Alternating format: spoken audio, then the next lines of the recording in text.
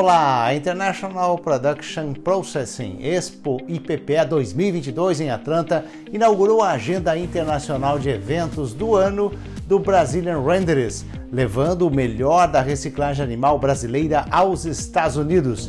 A feira é uma das maiores da proteína animal no mundo e reuniu milhares de tomadores de decisão. O Brazilian Renderers, uma parceria entre Abra e Apex Brasil, Agência Brasileira de Promoção de Exportações e Investimentos, esteve presente durante todos os dias de evento. Especialmente criado para a feira, o stand ofereceu suporte para as empresas associadas e participantes do projeto e foi palco de oportunidades. Mais de 200 pessoas, entre compradores e visitantes, passaram pelo espaço da reciclagem animal, buscando informações para o setor. O stand ainda contou com o apoio de tradutoras, distribuindo materiais de divulgação do setor. A marca de associados e patrocinadores DUPS e Eurotech Nutrition ganharam destaque e chamaram a atenção dos visitantes. Um excelente evento, IPPE 2022.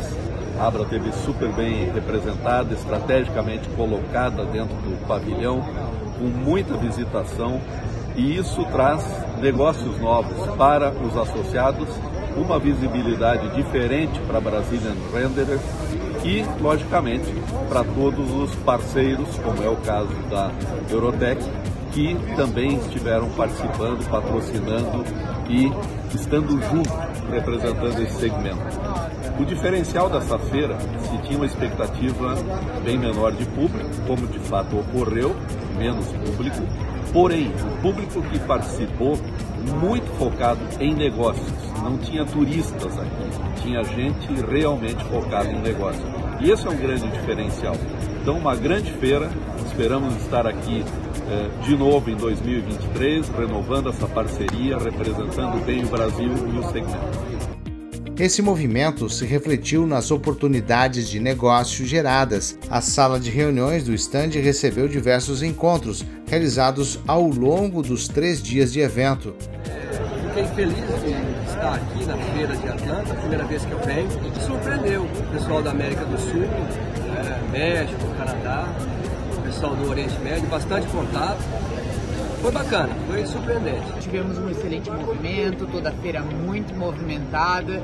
Nosso stand está sendo muito procurado por vários clientes americanos e de todos os países. Contamos com a presença de todos no ano de 2023 na IPPE.